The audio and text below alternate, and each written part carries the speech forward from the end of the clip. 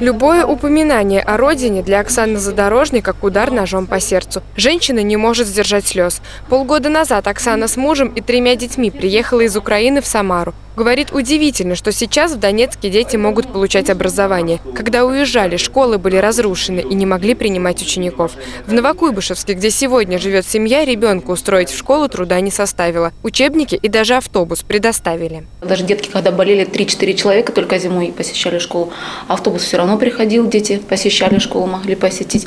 Школьные принадлежности, там портфель самое необходимое тоже предоставили нам. Учебники, да, школа всем необходимым обеспечили детей. Помочь детям Новороссии достойно встретить грядущий День знаний, предложил уполномоченный при президенте Российской Федерации по правам ребенка Павел Астахов.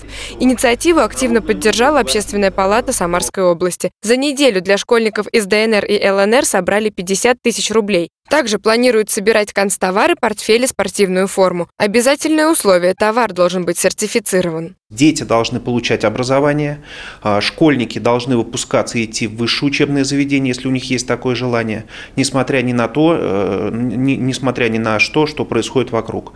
Мы помогаем нашим братьям-славянам, которые сейчас находятся на территории, по сути, где ведутся боевые действия.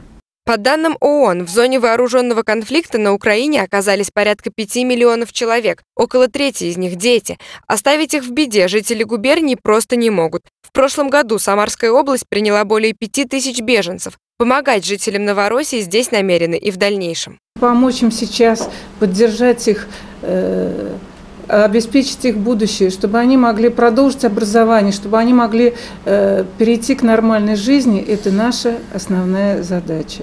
Акция «День знаний в Новороссию» продлится до августа. Деньги можно перечислять на счет благотворительного фонда «Радость», а школьные товары приносить в пункты приема общественной палаты. В регионе уверены, благодаря неравнодушию и активности жителей получится собрать и отправить в колонию с гуманитарной помощью грузовик, на котором будет написано «От жителей Самарской области». Алина Чемерис, Артем Сулайманов. События.